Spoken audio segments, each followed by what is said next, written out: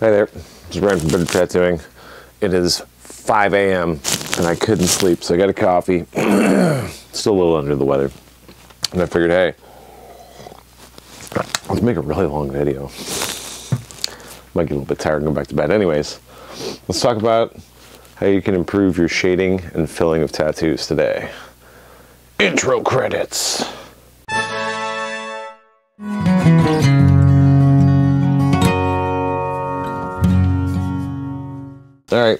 That that's over with, we're gonna get into some deep theory here. I think we might actually use some of the chapters and stuff that are naturally in YouTube to try and break some of this stuff down. But let's let's just tackle this and, and make a longer video and see what we can do instead of these little two minute bites that some people say have been really good. But I think that it's nice being able to see stuff at the same time. It's, it's, actually really nice being able to understand why you're doing stuff, which is kind of the whole point of why we started this channel. Like, it's not hard to tell you how to do something, but why, right, can be really, really important. So let's break this down. I got uh, asked a question on Facebook uh, a couple days ago, and I was uh, sent an image with what seemed to be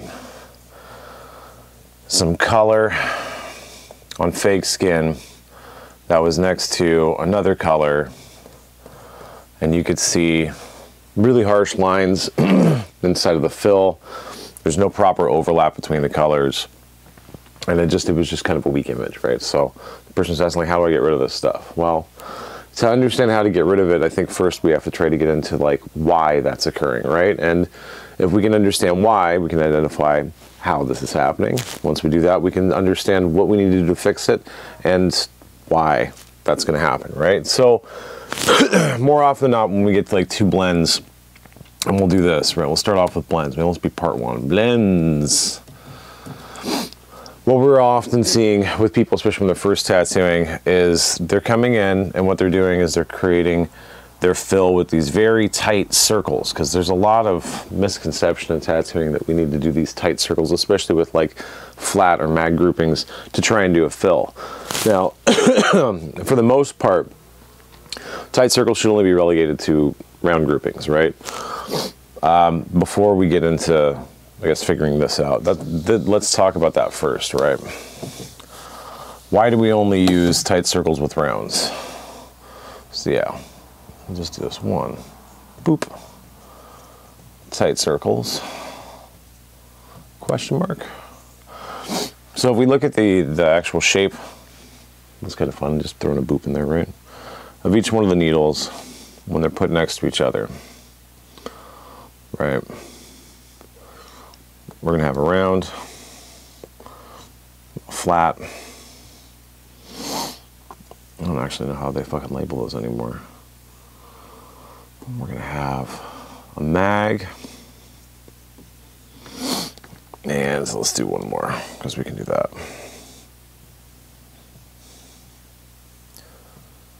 And a stack, right? now each one of these groupings can be used as they are in many different ways to try and fill a tattoo, right? Oh, wait, we got one more, don't we? Let's do that. Mag slash rounded mag. Now, just looking at the shapes of these with like a simple illustration on a whiteboard, you can kind of tell that they're going to react inside the different in the body differently, right? The rounds as they come out are relatively round, right? Our flats are just going to be a flat plane that come across, and our curved mags or mags are woven, right, where the needles are actually staggered back and forth over top of each other. now, and stacks are just two flats stacked on top of each other, right? Even amount of needles, even stacking. now, when we go to put these into the skin, and we're using different types of hand motions, they're going to react differently. And now we're, we're, not trying to pay attention to what's happening to the skin. Realistically, what we're trying to pay attention to is what's happening to the needle, right? Now, when you take a grouping like a round, and we use tight circles with it, what's happening to that needle grouping is that as it's being spun around, right? Not twisted, just like rotated around inside the tube, is that all of the needles inside of that round grouping, right? Boop, boop, boop. Oh, I'm gonna use a big old grouping there. They're all gonna come in contact with the skin evenly. So when you're moving it around its axis, right, and filling it in, as long as your needles are relatively within that, you know, 65 to 80 degree mark, and your hand is being straight, use your elbow, maybe wrist a little bit to do the fill, all those needles are evenly hitting and they're like able to saturate, right? Usually what happens when people are doing this, they're not doing tight circles, or you're actually using loose circles and you end up with these like holes in the center, right, that's not being tattooed in. So then you're kind of forced to like go back over it and try to fix it, which, you know, seems really, you know, not efficient time-wise. So people try to avoid doing most fills with rounds, which is silly because rounds are literally there for maximum saturation in a single spot, right? Same with stacks and flats for the most part, just in a different way. But it's a strong, immediate concentration of pigment in a circular area is what a round does, right? Helps get things just set into the skin. so you can do tight circles with something like a rounded, works fine, right? When we get into something like a flat, a stack, or a mag, especially a rounded mag, which we'll probably have to do another illustration on this, the actual effect of it, if we take the needles coming sideways, right, boop, boop, coming into the skin, the point of where these are going to be contacting the skin, right, let's do this 3D, it might make it a little bit easier, boop, doop, boop is going to be the point where they contact the skin is going to be determined based on like how that machine angle is, right? So if we're looking at like an XY plane with a Z axis on this, if your stuff isn't absolutely dead nut straight following that line, so if you're following a line or trying to do a fill on this, and let's say that your, your tube line isn't aligned with where you're trying to go, and maybe it's kicked off a little bit like this, and you're trying to do your circles, your fills back and forth, you're, you're not actually having those needles hit in the intended fashion, which would be like scoop into the skin and fill that area in a linear fashion, right? You start moving roundabouts and circles and stuff, you're going to end up getting tipping. So that's where one side of the needle is going to hit more where the grouping is going to hit more, burying a certain needle more than the other side, or you're going to get a wibble wobble where all you're going to be doing is just bouncing back and forth between the two sides. So you're only using half the needle effectively, right? So when you're starting to do tight circles with something like this, especially with the smaller groupings, right, what you're going to end up seeing is this kind of weird chopping fashion that's going to happen that'll have probably let's do it like that one side that may look like it's actually well saturated, some holes much like around that's on the inside, as well as like broken or soft edges on the outside. You're gonna see this with stacks as well. And as those groupings start to get larger, right, if we're gonna say like, oh, criminally, we'll, we'll do like a greater than a seven mag, and same with this, like greater than, was it, like a stacked 11. Um, what you're gonna start seeing is that the needles inside of them uh, that are installed on the bar inside of the tube are actually going to bend and flex, right? So like, especially with stacks, which is just basically like a square round liner, um, as they're being pushed across the skin moving forward, the needles will actually wag at the bottom of it. So they're soldered onto the back of the bar and they'll end up moving back and forth, right?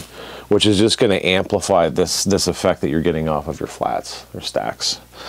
So if they're moving a lot, going back and forth and you're trying to do tight circles, all you're doing is just causing these little flicks to happen inside the skin, which is going to just result in more inconsistent, mic's falling off there, inconsistent saturation when you're actually doing the fill. So it's just kind of a pain in the butt, right?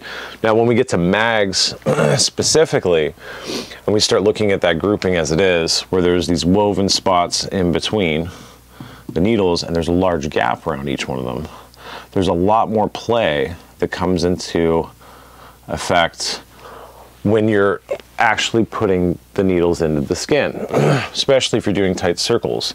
These needles will move a lot and it'll be inconsistent with how they're going. Now, this is kind of the idea of these, with these being a shader needle, right? Is that you're getting an uneven dispersion of pigment that's scattered, loose, and not as saturated as around that you can like easily uh, uh, apply to a tattoo to like blend two colors together, right? Because if we have a lot of color in one area and a lot in another, and we're like, geez, we need to put these together. Well, it's easy enough just to butt those two colors up together and grab a mag and blend over top with two of the same colors mixed together in tube and cap or whatever else, right? To, to make and achieve that blend and make it look smooth. So tight circles with something like these is, is not only it's going to wear out the skin way faster than if you were to try and do it with one of these other groupings specifically, but it's also just going to result in completely uneven application of the pigment because especially when they're rounded, you start moving that thing around in a circle to do these tight circle fills back and forth and all that stuff, all these needles are just going to be bouncing all over the place, right? It's not going to totally be straight. It's not the chisel end of a pen. It's a bunch of needles all stuck together. So they're going to end up wiggle waggling. and when you end up trying to use that on top of uh, a person's actual skin, not even just a fake skin, but real skin, you're going to end up tearing it up really quickly. So most people, when they start using this, they'll be doing, oh, do you know, tight circles and keep it at like 90 degrees and try to float it into the skin and let them feed back the machine, you know, tell you how far you're supposed to go with this. That's just, it leaves so much up to chance because everyone's skin is different and even everyone's fake skin is going to be different with this as well, right? So you need to think about like how these things are actually like interacting with your substrate when you're using it right? So like tight circles can work with rounds, flats, mag stacks, they're just not really made for that, right? So if we go back to our initial, I always forget, I shouldn't use the green or the orange, right? It is 5 a.m., so I mean, it's not too big of a deal. If we go back to our initial query, right, where we had somebody who was trying to blend over top black with, I think it was red, it was coming over top of it. And what we're seeing is one, a gap, but two, the big choppiness is gonna happen here where we're seeing like literal lines inside that that fill. We can make an assumption, one of two things. Like one, they're trying to do this with a liner and they're just like going crazy back and forth. But because of like the picture I'd seen, the saturation that was in there, maybe I'll put it up on the video too so you can see. when we're seeing something like this, it's, it's usually gonna be from a mag, right? And instead of having the mag coming flat, whoop, we'll do it like this, flat and being pushed into it, much like if you're trying to shove it in, like tebori, right? They're saying they're trying to do tight circles. And that wag that we were talking about is occurring here. We're gonna get very strong edges, a weak center where the needles are kind of like realigning. And you're gonna see it a lot because people are doing circles as well. There's gonna be a pause point when you're coming around. If I'm coming around and I come back around and I come back around. There's always going to be these little spots on both sides. One, where we're overlapping, where you're going to see that darker tone of pigment too. And uh, two, we're still going to have these valleys left in between stuff. So usually that, that gap that we'll see in between this stuff is, is just going to be there from somebody moving their hands. Now, usually, the, I think the video I'd, or the picture I'd seen, I'll put up in the video. Uh, this looks like it's somewhere between, let's do a little less, maybe like 1.5 to three millimeters in thickness. it's not very big, right? It's, it's pretty small. When you see somebody whipping their hand around, you know, in a blown up fashion because we're the size of a needle, it's like, oh my gosh, you're moving so much. Realistically, like you're barely moving your hand trying to get a really tight pack on that stuff, which if you want to try with a ballpoint pen is usually a good way to train yourself with this stuff. But you're still going to have that center line. Even with my marker, I can see where there's going to be less this one, right, ink laid on the whiteboard, uh, and uh, stronger points on each one of the edges of this. Now if I take it and I actually, do I have a chisel one on this? I do somewhere. So I'm using something like a flat. I'm trying to keep this totally flat and even with the skin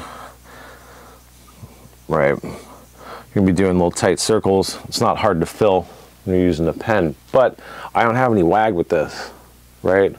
If I try to do a bunch of these lines all overlapped with each other, I'm gonna start getting a washing and a lack of space and blending over top of these, right? Now, there's an illustration with this, like we all know that I'm actually just pushing ink away that hasn't dried on the whiteboard, but it'll show you kind of the same thing that's happening when you're using these needles, right? Rather than trying to do tight circles with mags to doing a fill. Remember, they're freaking blending needle.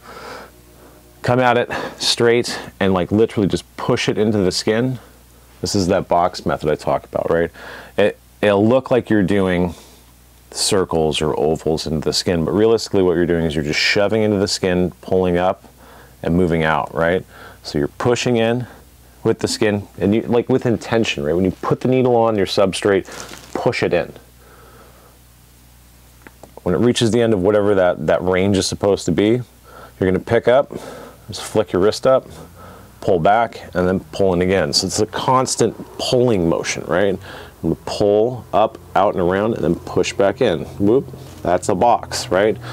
and it's hard for people to like kind of get that one. You just gotta stay loose when you're trying to do this. You're not trying to, you know, fill in a piece of paper. Like you're trying to saturate the skin. Before we get into how to actually fix that blend, give me a second.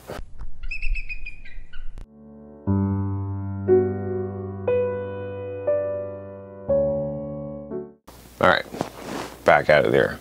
So the next thing we should talk about is, especially like everyone's using mags just incessantly, right? So let's look at one of two things, right? So let's look at a straight and a rounded mags configuration, right? We have a rounded mag, we're gonna see our needles. Wow, yeah, it's really early.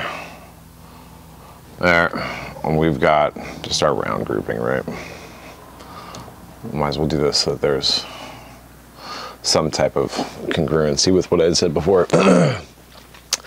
um, when these hit the skin, right, most common thought is that the area right around the needle is going to be depressed or accepted into it, and that needle is going to be able to pass through the skin and deposit the pigment. This is with fake skin or real skin, right? Realistically, as soon as it's hitting, this goes into a decent stretch on stuff, which we don't have to worry about with fake skin, which is kind of fun. Um, what's happening is, is the actual substrate around it is actually bending much greater range or area than we actually may assume, right? It's not just going to be focused around that needle. So as that bend is going, what we're doing is we're accommodating the needle into that space. So now the, the thought with rounded mags with a lot of people is that because the skin is going to be depressed around it, you're going to get an even spacing of those needles all entering the skin at the same depth, right? Which is not right. As these needles come down, let's say that we just like kind of copy this exact same line here, right? We have this coming in. What we're actually going to have is shallower edges at the sides here because these needles are going to be absorbing the most part of the impact. That's the center of the grouping where the rounded mag is, and they're going to go the deepest. The other sides are only going to partially commit that pigment into that area that you're working in, right? So what we're having technically with rounded mags is literally a round needle, which is just in the center, and then we have some things that end up shading on the side. That's why a lot of people claim like rounded mags work so great when you're filling in. Yeah, it's only because you're using like, you know, up to 50% maybe, depending on how your hand positioning is with these things, for them to actually go in. That looks like a cock and balls. Oops. I'd be in trouble if I was in school right now. People would be like, ah, Professor Rian, you are a dork. Um, sorry. I got to finish my coffee here in a little bit. Boop, boop, boop. so if it's mounted like that, don't use it anyways.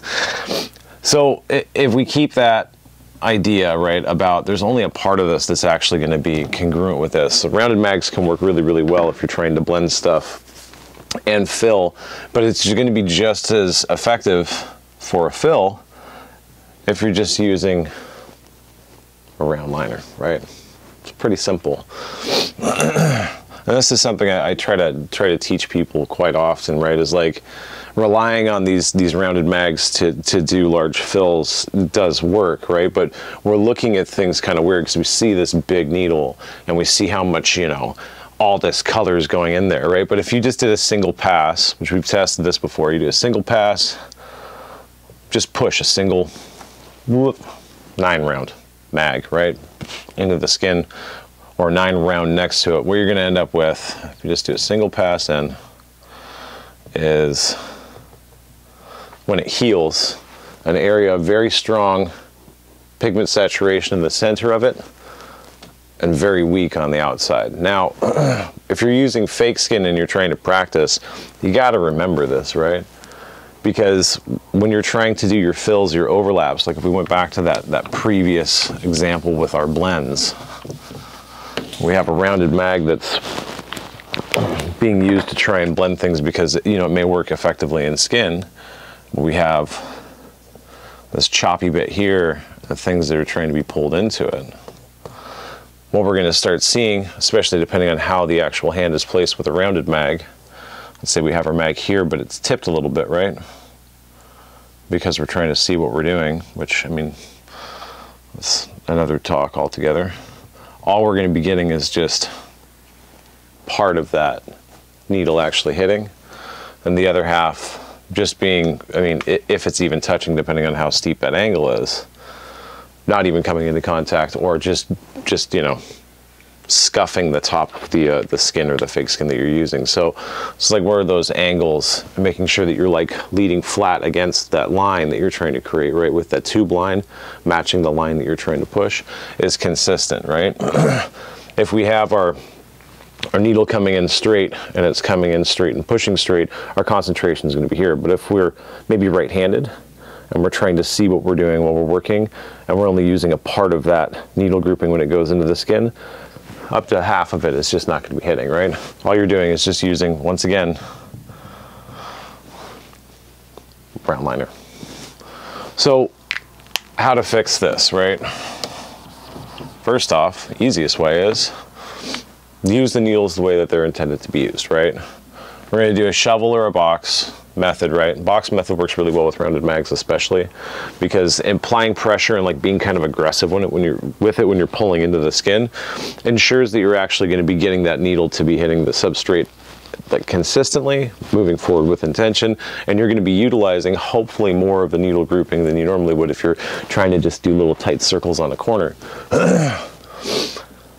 But I mean, realistically, if you are just wanting to try this out and you end up with something like this, where the edges are going to be a little bit more saturated, and we've got all these valleys and stuff on the inside, go back in, especially on fake skin, grab a round liner and just go in and like fill in that center part that doesn't work or fill up the back part.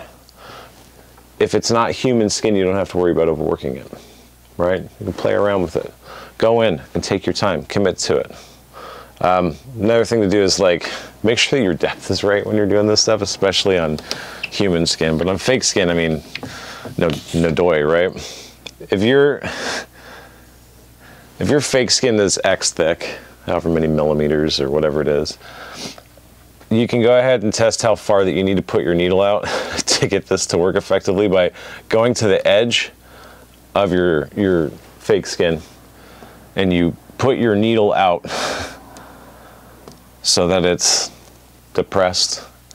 And then you just literally like shrink up the top of that tube line, pull it back or adjust if you're using a rotary until it's only that far, right?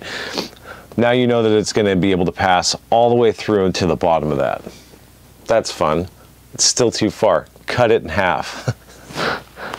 if your fake skin is, I've got it here. Let me just grab this. We're gonna start doing some illustrations if your fake skin is this thick, right, you shouldn't have your needle out 4 mil. That's just silly. I mean, like if you if you put this on something, you'd just be able to punch through it, right? So, I don't know if that's going to be in focus or not, but set your needle to the depth that you're supposed to be using this stuff, right? It's half the thickness. If you have a micrometer and you can actually gauge how thick that stuff is, go grab it. If not, take a pen, mark the side, ballpoint pen, get it nice and wet, stick it on a piece of paper, right? So you're just gonna take it and dab it on there and it'll come up with a line. And you'll be like, okay, take a ruler, right? Do, do, do, do, do, do, do. Measure how thick that line is and cut it in half. That's how far your needle should go when you're working with fake skin. Human skin's a bit different, right? Because it has give. You're not on a hard substrate, like the freezer that's always here when we're doing our recordings. So the skin is actually going to move a lot more up and down. So you have to set it differently. That's where we usually have the thickness of human skin is going to be our gauge of that stuff, right? Which is going to be around two millimeters. So if, if we know our needle is going to be around two millimeters, all we're doing is at that point in time, we're sure that the needle is not going to go too far to damage the skin and we can adjust the actual depth with acoustics on this stuff, right? That's where stretching comes in for going into human skin, we can adjust how much movement that that skin is going to have, right? if we think about it like this, where a needle is actually going to be coming into contact with it and it ends up undulating due to the uh, reciprocating motion of it, we can end up changing how far it'll actually, it's just a big one here, how far it's going to be moving up and down by applying stretch to it. It's like tuning a guitar, guitar string, right? A whole lot of stretch, we're not going to have a whole lot of movement that's going on here. That needle is not going to have to work very hard to get through. Realistically, when we're trying to do a tattoo on human skin though, what we're trying to do is match the stitch rate of the machine. Well, that's a really bad R, isn't it? Of the machine. So this is gonna be like your cycles per second or whatever, right? Of it going up and down to the actual acoustics, the sine wave of the skin moving up and down in response to that stretch, reacting to the needle hitting it which may seem a little bit complicated, but every time the needle's hitting, we were talking about with the rounded mag, you're gonna get a depression, right? And then the needle's gonna go through. So if you can time it through your stretch where that skin is going down and as the needle's coming up, the skin is returning at the same rate, keeping it at a certain tight, tightness, then the needle's not gonna have to work as hard to actually enter the skin because as it's coming back up, the skin is coming back up as well and it's chasing it. So when the skin all of a sudden has reached its, you know, apex, max uh, amplitude of, of height there, the needle is starting to come back down. There is going to be some type of movement from this coming back up, which is going to decrease the amount of force needed by the needle to actually enter into it.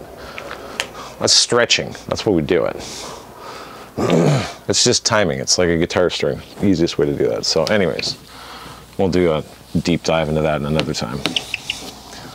So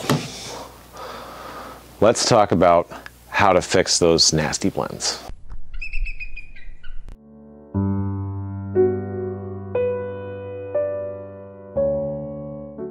All right, so if we go back to the initial spot where we see these things coming back together and they're not very clean, first thing we need to worry or ask ourselves about, not even worry about, is one of two things, right? Is this a fill or is this a shade? So if we're trying to do solid fill like we're doing like American traditional, something like that, the idea is to have saturation, right? We want to have a lot of color in there. We're trying to make stuff really stick. So let's say we're doing a fill on this. Rather than thinking about each one of the individual layers on this as something that can't touch or, you know, you've got to try to butt things up next to each other, remember that, especially with fake skin, you're working with a substrate that is pretty forgiving, right? When we're doing our, our fills and colors, what we're trying to do is create a gradation where this is going to be the darkest, we'll say, and it's going to move to the lightest. Now, if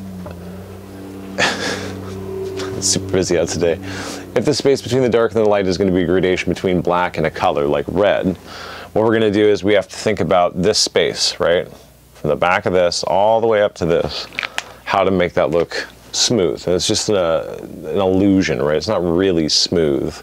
And we can get into like the actual science of how this stuff looks like inside the skin, the histology of the pigment when it's been implanted. But realistically, all we're trying to do is create an aggregation of one pigment that blends in with the other. So we do that by fully saturating one big space fully saturating the other space, and then we're going to have a space in between. That's going to be the blend, right? If these two colors are butted up next to each other, we have two pockets, almost like cups of ink, right, filled with stuff. We're trying to create something that's between it. We can take our dark at one point in, uh, at the end of wherever our full saturation is, and we're going to one third overlap our black. Let's be one third black moving this way. So realistically, that space that's going to be filled inside here with black isn't just that back spot, right? Bye-bye, eraser. It's going to be this whole swath. So where our space is here, right? Super dark fanning out. Now when we go to mix the color back over top, we're going to do the exact same thing. We're going to take our color and we're going to come back and we're going to one-third overlap that other side as well right? So this is our overlap. What happens when we overlap is you're going to have a bunch of particles of color implanted into the substrate you're working on, mixing in that substrate with the black. Pretty simple, eh? So you just go over a bunch of it. Let's say you do a blend. That's that's called blending in skin normally, right? If you're a little bit afraid about doing a one third overlap, maybe the if you're working on like human skin, this this may overwork the skin especially. You'll see a lot of people, especially newer tattooers, that they'll have like a nice color blend that looks it looks crispy and stuff but you'll see like these little holes in the skin because it's just been like way overworked. And when it heals you get those lines of scabs through it because they just overworked the skin trying to blend over top each other. Right. Let me pick up my my eraser here. So if you're doing this in skin there's another way you could do this past blending in skin. We'll do a blend in tube.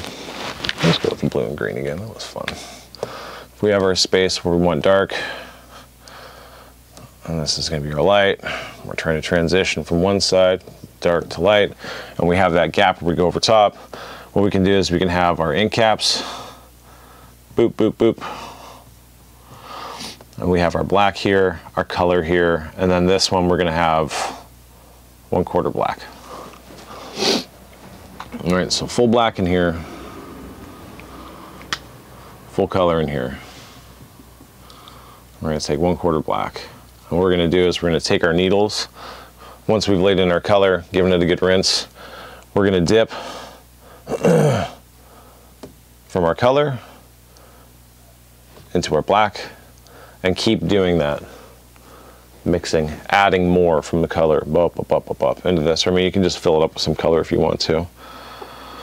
I normally just like mix on the fly because I end up creating a lot of waste if I don't do that. But I mean, if you're just doing this at home, it's probably easier just to do it this way. Um, and fill it up with color, right? So we'll go one quarter black, three quarters color. Mix it. If you got needle bars, it's really easy to mix in the caps. You can just like take a needle bar out um, and the loop end, just hold it between your fingers, put in the cap and just twist it back and forth. It makes a little stir rod, mixes it up really quickly. And then what we're gonna do is we're just gonna take, once it's mixed, this stuff, and we're gonna do a 1 8 overlap on top of the color there. It's really simple, right? You're gonna have your transition from your black to your mixed tone. We're only using one quarter black because black is like really, really, really dense on average when you get commercially available black. If you have half black plus a color, it's gonna be really dark tint. So it's easier to take like quarter black, three quarter, have like a mid-tone dark that's actually gonna be able to blend between these two a little bit easier. And if you need to lighten it up, you can always take this and dip into your color, right? That's why you always establish it first. If you go from this to this, you're, tint, you're going to end up tinting this. So it'll just keep getting darker until both of these end up neutralizing and kind of becoming the same tone. Um, but anyways, to take this and just like color over top. Super simple. If you're seeing edges and lines where the stuff hasn't blended out really well, simple. Take your stuff here and then you fan backwards against it. All you're going to do is just brush gently, right? With a flick motion. We call it whip shading from the point of saturation where these two things overlap back into the opposite color. And same with the lighter stuff. If you're having a bit of a line, a lot of buses running by today, on one side where the where the mid-tone or your, your tinted uh, color is going to be moving towards like your fully saturated color, you're going to do the same thing. Where those spots overlap, all you're going to do is just take the same tone and flick into the opposite color. That'll create your blend, right? You can use a mag for that, works great. so that's the easiest way to fix it, and that's the theory behind how all this stuff is gonna work. When we're doing blends, use a mag. That's what they're there for. That's why they're called a shader needle, right? You can do this with round shaders as well. But I mean, for the most part, I don't think many people use round shaders as round shaders anymore. They usually use them as liners, which I don't agree with because that's not what they're made for. But I mean, it can build an entire house with a hammer may not look pretty, but I can build it. It's just easier to use a saw to cut the wood, right?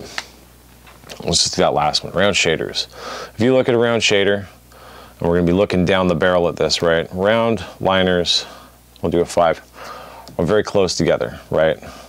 Round shaders have a bigger space between them. What's called hollow fives. We used to call them anyways. Now, if you think about a mag, right? These are gonna be equivalent while this one is not.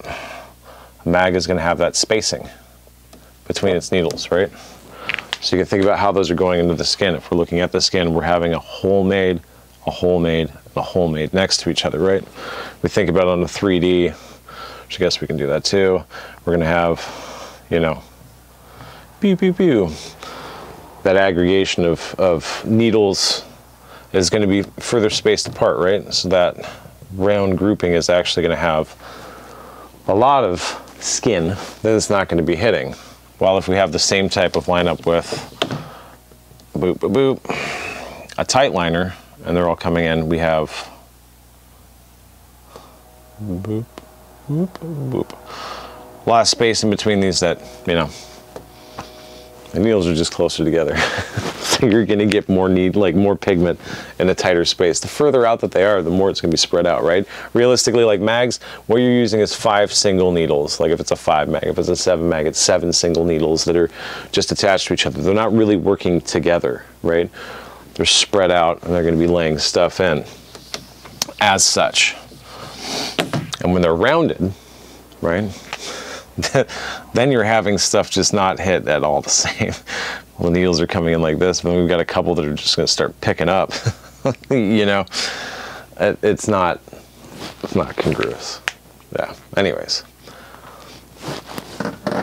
that I think is it. I was like, maybe there's something else. I'm like, ah, I think this is gonna be like a 30 or 35 minute, you know, video on this stuff. That's it when you're when you're doing your blends and you're trying to do it, remember you have a one third or one eighth, somewhere in between there, overlap of either direct single color dark tone to light tone that you're trying to blend together, which watch purples and yellows. Oof, sometimes those can be a pain in the butt. or you're going to lay your two individual colors side by side and then create a tint, blend them together, flick off. Easiest way to do it, right? That's it for today. This is Rian from Better Tattooing signing off.